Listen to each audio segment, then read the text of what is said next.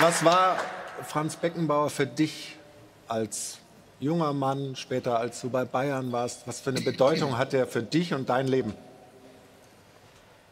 Ähm,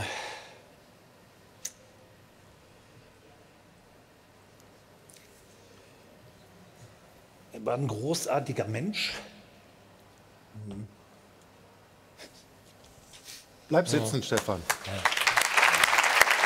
Ich verstehe das.